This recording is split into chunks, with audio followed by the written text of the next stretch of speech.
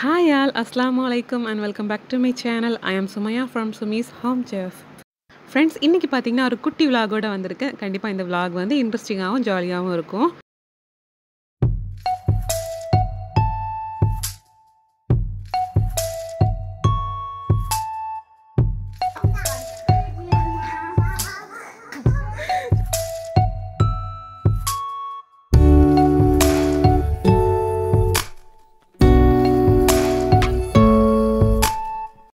So இந்த விலாகை நான் இப்போ ஒரு காலையில் ஒரு சூப்பரான கார்டன் வியூவோட ஸ்டார்ட் பண்ண போகிறேன் அண்ட் ஆரஞ்சு செடி ரீசெண்டாக வாங்கியிருந்தேன். நான் வந்து விலாகில் போட்டிருந்தேன். அந்த செடியில் இப்போ புதுசாக வந்து வீட்டில் வந்து பிளான்டிங் பண்ணதுக்கு அப்புறமா நிறைய பூ வந்திருக்குது. அந்த பூவை தான் நான் இப்போ வந்து காமிச்சிட்ருக்கேன் பாருங்கள் இது பக்கத்தில் போகும்போது நல்ல சூப்பரான ஆரஞ்சு ஃப்ளேவராக இருந்தது. அந்த வாசம் பூவோட வாசம். பட் இதோட பட்டை பார்க்கும்போது கிட்டத்தட்ட வந்து முல்லைப்பூ மாதிரி தான் இருக்கும். அண்ட் இது வந்து நார்மல் ஆரஞ்சு கிடையாது மினி ஆரஞ்சு சொல்லுவாங்க. குட்டியாக இருக்கும்போதே பழுத்து நம்ம சாப்பிட்லாம் அந்த மாதிரி. அண்ட் ஒன்று ரெண்டு வந்து பழுக்கமும் ஸ்டார்ட் ஆகிடுச்சு பாருங்கள் லைட்டாக வந்து எல்லோ கலர் வந்திருக்குது. ஸோ இதெல்லாம் வந்து பழுக்க ஆரம்பிச்சிடுச்சு. இதெல்லாம் வாங்கும்போதே இருந்தது. அதுதான் இப்போ பழுக்க ஆரம்பிச்சிருக்கு. அப்புறமா கத்திரிக்காயும் நல்லா வந்து காய்க்க ஆரம்பிச்சிடுச்சு. ஸோ ஸ்டார்டிங்கில் வாகில் பார்க்கும்போது குட்டி குட்டியாக தான் நின்றுது செடியெல்லாம். பட் இப்போ வந்து ஒன்று ரெண்டு கத்திரிக்காயெல்லாம் காய்ச்சிருக்குது. இது வந்து உருண்டை கத்திரிக்காய் மாதிரி அதாவது கொஞ்சம் பால் மாதிரி இருக்கும். அதே மாதிரி அந்த பக்கமும் ஒன்று காய்ச்சிருக்குது பாருங்கள் இது கொஞ்சம் சின்ன சைஸ் தான். அண்ட் ஏற்கனவே ரெண்டு கத்திரிக்காய் பறிச்சாச்சு. அண்ட் இன்னும் நிறைய பட்டு வந்து அதில் வந்து குட்டி குட்டியாக வந்து கத்திரிக்காய் வருது பாருங்கள் ஓகே நாம் இப்போ வந்து வீட்டுக்குள்ளாடி போகலாம் வீட்டுக்குள்ளாடி வந்து மார்னிங் பிரேக்ஃபாஸ்ட் முடிச்சதுக்கப்புறமா நானும் அப்புறமா முனாஸ் கிச்சனும் சேர்ந்து இன்னொரு சிஸ்டர்லாம் வீட்டுக்கு போக போகிறோம் ஸோ அதை தான் நான் இங்கே விலாக் மாதிரி கவர் பண்ணியிருக்கேன். ஸோ லஞ்ச் வந்து நாங்கள் அங்கே தான் போய் சாப்பிட போகிறோம் பட் பிரேக்ஃபாஸ்ட்டுக்கு வந்து சிம்பிளாக சாண்ட்விச் பண்ணலாம் அப்படின்னு சொல்லிட்டு ஃப்ரை பண்ண சிக்கனை இந்த மாதிரி உதுத்து எடுத்து வச்சுருக்கேன். இதில் வந்து ஒரு two or three tablespoon mayonnaise mix பண்ணி எடுத்து வச்சிடலாம். இது நம்ம சாண்ட்விச்சில் ஃபில் பண்ணுறதுக்காக ஸோ இந்த மாதிரி மிக்ஸ் பண்ணி நாம் வச்சுருக்கோம். இப்போ ப்ரெட்டை வந்து நம்ம சூடு பண்ணிக்கலாம். ஸோ லைட்டாக வந்து டோஸ்ட் பண்ணி எடுத்ததுக்கப்புறமா நாம் இதில் சாண்ட்விச் ரெடி பண்ணலாம். இது வந்து ரொம்பவே டேஸ்டியாக இருக்கும். கிட்டத்தட்ட ஒரு சிக்கன் பர்கர் சாப்பிட்டு டேஸ்ட் இருக்கும். அதனால தான் நான் இந்த ரெசிபி அவங்க கூட ஷேர் பண்ணுறேன் ஸோ பார்த்துட்டு மறக்காமல் ட்ரை பண்ணி பாருங்கள் பட் ரொம்பவே ஈஸி தான். மத்தியானம் ஏதாச்சும் சிக்கன் வந்து ஃப்ரை பண்ணது லெஃப்ட்டு இருந்துச்சுன்னா கூட நீங்கள் இந்த மெத்தடில் வந்து ஈவினிங் வந்து ப்ரெட்டை வச்சு ட்ரை பண்ணி பார்க்கலாம். சூப்பராக இருக்கும். இப்போ நம்ம ரெண்டு பக்கமும் டோஸ்ட் பண்ணியாச்சு. இதில் நான் வந்து ஒரே டைமில் வந்து ரெண்டு சாண்ட்விச் பண்ணுறதுக்காக எடுத்து வச்சுருக்கேன். ஸோ நாலு பீசஸ்ஸு அதில் வந்து ரெண்டு பீசஸில் மட்டும் டொமேட்டோ கெச்சப் சேர்த்துருக்கேன். அப்புறமா பேலன்ஸ் இருக்கக்கூடிய ரெண்டு பீசஸில் வந்து நம்ம மயோனைஸும் ஃப்ரைட் சிக்கனும் மிக்ஸ் பண்ணி வச்சுருந்தோம்ல. ஸோ அந்த மிக்ஸை வந்து இந்த மாதிரி ஈவனாக ஸ்ப்ரெட் பண்ணி விட்டுக்கிறேன். அவ்வளோதாங்க இப்போ இதில் வந்து நம்ம சீஸ் வச்சு அந்த ரெண்டு பீசஸையும் ஜாயின் பண்ணி சாண்ட்விச் ரெடி பண்ணி எடுத்துடலாம். ரொம்பவே ஈஸி டக்குன்னு செஞ்சு முடிச்சிடலாம். ஸோ இப்போ நான் வந்து சீஸை வந்து சிக்கன் மயோனைஸ் மிக்ஸ் பண்ணி வச்சுருக்கக்கூடிய சைட்ஸில் மட்டும் இந்த மாதிரி போட்டுக்கிறேன். ரெண்டு பீசஸ்லேயும் போட்டுட்டு நாம் இதை வந்து அப்படியே க்ளோஸ் பண்ணி லைட்டாக வந்து ஒரு வாட்டி தவாவில் நல்லா ப்ரெஸ் பண்ணிவிட்டு எடுத்துக்க வேண்டியதுதான். இந்த சாண்ட்விச் வந்து ஈவினிங் டீ டைமுக்கு கூட சூப்பராக இருக்கும். அதே மாதிரி தான் பிரேக்ஃபாஸ்ட்டுக்கும்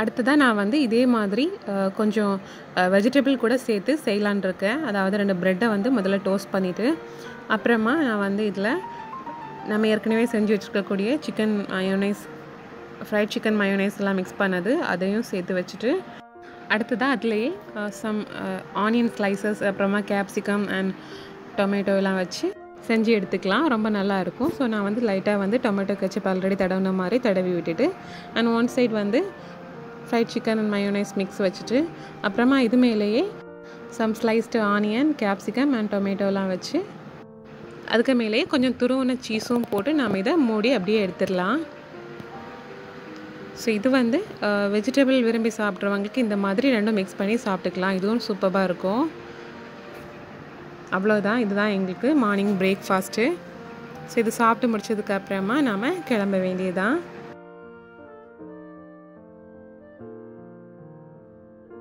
ஸோ இப்போ நாம் சிஸ்டர் இன்லா வீட்டுக்கு வந்தாச்சு. அடுத்ததாக நாங்கள் வந்ததும் என்ன பண்ண போகிறோன்னா நம்ம மொனோஸ் கிச்சன் பிக் பிரதர் முபீருக்கு வந்து ஜூஸ்க்கு பதிலாக கலர் வாட்டர் மிக்ஸ் பண்ணி கொடுக்க போகிறோம் ஸோ ஃபஸ்ட்டு ஜூஸ் மாதிரி இருக்கிறதுக்கு சம் ஆரஞ்சு ஃபுட் கலர் சேர்த்துருந்தோம். அப்புறமா டேஸ்ட்டுக்கு கொஞ்சம் அதிகமாகவே சால்ட்டு சேர்த்துருந்தோம்.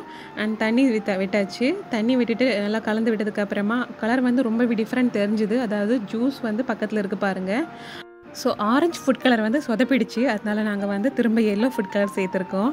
இது லைட்டாக இருந்ததுனால திரும்பவும் கொஞ்சம் கூட சேர்த்து நாம் இப்போ கலந்து எடுக்க போகிறோம் அண்ட் இதில் கொஞ்சம் சால்ட்டும் சேர்த்து ரெடி பண்ணியாச்சு.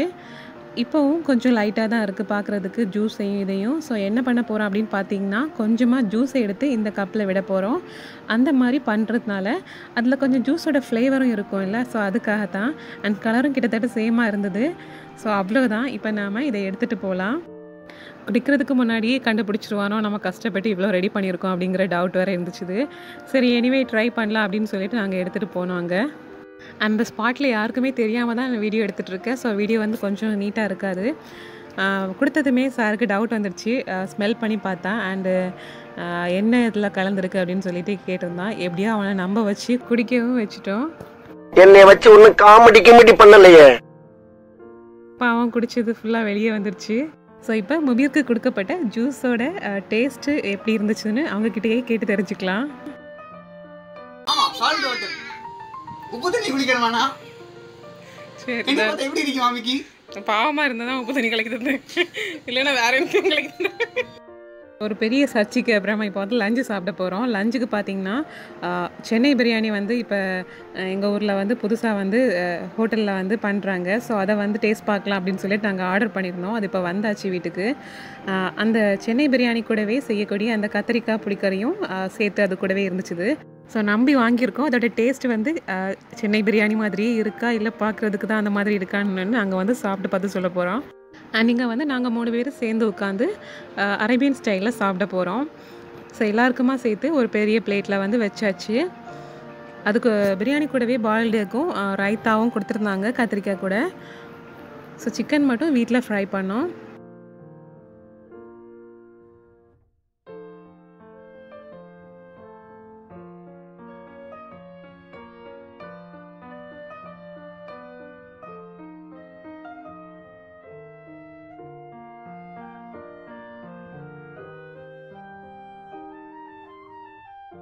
ரைத்தா மட்டும் கொஞ்சம் வந்து வாட்டரியாக இருந்த மாதிரி இருந்துச்சுது. அதாவது கொஞ்சம் லிக்யூடாக இருந்த மாதிரி இருந்துச்சுது. அப்புறமா வீட்டில் வந்து ரவா கேசரி செஞ்சுருந்தோம். சாப்பிட்டுட்டு ஏதாச்சும் ஸ்வீட் சாப்பிடலாம் அப்படின்னு சொல்லிட்டு. இப்போ நாங்கள் சாப்பிட ஆரம்பிக்க போகிறோம்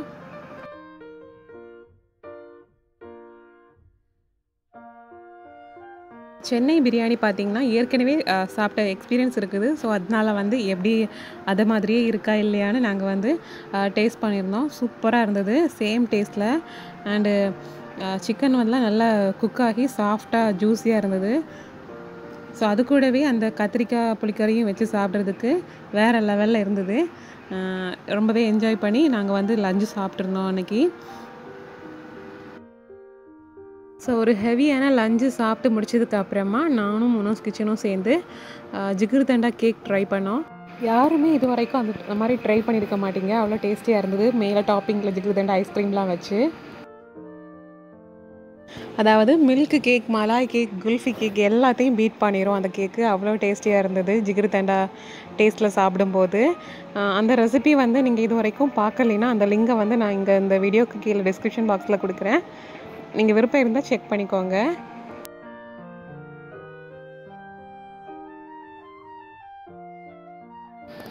ஒரு வழியாக மூணு பேராக சேர்ந்து சென்னை ஸ்டைல் சிக்கன் பிரியாணியை சாப்பிட்டு முடிச்சாச்சு.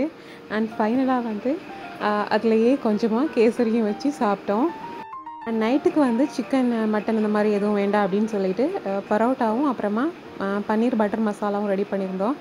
அண்ட் மொபீர் வந்து ஃபஸ்ட் டைம் பரோட்டா அடிக்கிறதுக்கு ஹெல்ப் பண்ணுறான் ஸோ அவனை அப்ரிஷியேட் பண்ணுறதுக்கு அவனே கிளாப் பண்ணுறான் அப்படின்னு நினச்சிட்டோம். அந்த மாதிரி அடித்து எடுத்துட்டான். பில்டப் பண்றணும் பீலா விடணும் அது முக்கியம் இல்ல நம்ம எது பண்ணாலும் இந்த உலகம் நம்மள உடனே உத்து பார்க்கணும். நம்மளை தேடி வர உதவியை நம்ம வேண்டாம்னு சொல்லக்கூடாதுன்னு சொல்லுவாங்க. அது மாதிரி அஹ், முபீர் வந்து அவனாவே ஹெல்ப் பண்ண வந்ததுனால. ஸோ கண்டிப்பாக வந்து அவனை அப்ரிஷியேட் பண்ண வேண்டியது தான் ஃபஸ்ட் டைம் வந்து நல்லாவே ட்ரை பண்ணியிருக்கான். ஓகே ஃப்ரெண்ட்ஸ் இதோட இந்த vlog வந்து முடியுது. Vlog ரொம்பவே குட்டியாக இருந்தாலும் கண்டிப்பாக நீங்கள் எல்லோரும் என்ஜாய் பண்ணிப்பீங்கன்னு நம்புகிறேன் ஸோ இந்த வீடியோ பிடிச்சிருந்தனா வீடியோக்கு மறக்காமல் லைக் போடுங்க ஷேர் பண்ணுங்கள் கமெண்ட் பண்ணுங்கள் இன்னும் இன்ட்ரெஸ்டிங்கான விலாக் அண்ட் ரெசிபிஸ் பார்க்குறதுக்கு என்னோட சேனலை மறக்காமல் சப்ஸ்கிரைப் பண்ணிக்கோங்க. இந்த நாள் இனிய நாளாக அமையட்டும். தேங்க்யூ ஸோ மச் ஃபார் வாட்சிங்